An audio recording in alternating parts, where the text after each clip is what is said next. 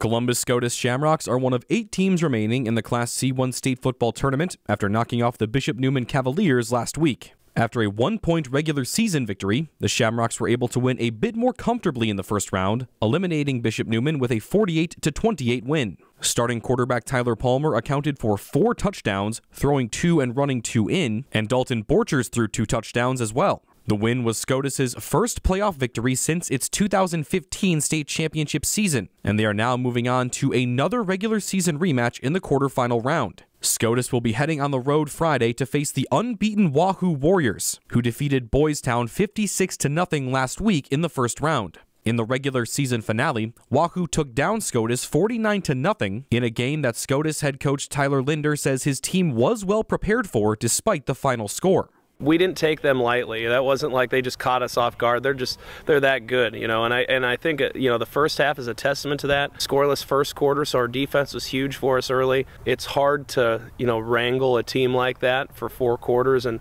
they really busted it wide open in that third quarter. But our kids prepared extremely well for that game, but we have to execute better, and we can't have any mistakes in order you know if we if we have a chance to win a game like that. So it was good to learn that and get that humbling experience, and, and that's a good good reality check for us getting into the playoffs, so we have to do everything right. The Shamrocks will have another crack at the Warriors this weekend in Wahoo as they look to not only hand the Warriors their first loss of the season, but earn the first postseason victory over Wahoo in school history. Reporting in Columbus, I'm Alex Loroff, NCN Sports Now.